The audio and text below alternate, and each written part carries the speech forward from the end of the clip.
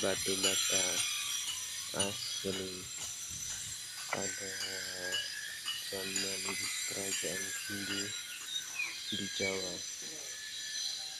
Anak tangganya pun masih berdiri kokoh. Walaupun banyak yang sudah mulai rusak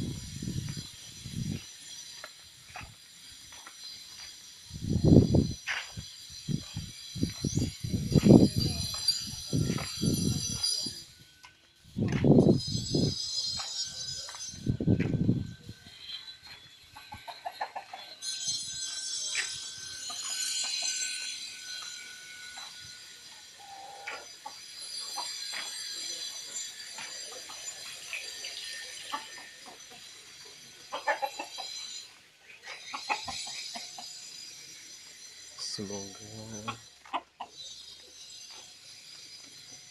cagar budaya ini akan tetap lestari. Mungkin sampai 100 tahun lagi. Atau bahkan berpuluh-puluh tahun lagi.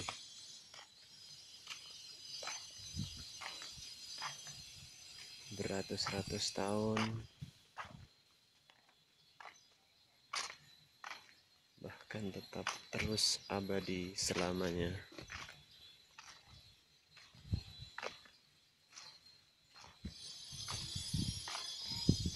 Ini destinasi wisata di Tulungagung yang mungkin bisa menjadi alternatif bagi wisata edukasi buat putra-putri kita. Supaya anak dan cucu-cucu kita mengerti tentang budaya dan keragaman yang ada di Indonesia khususnya di Tulungagung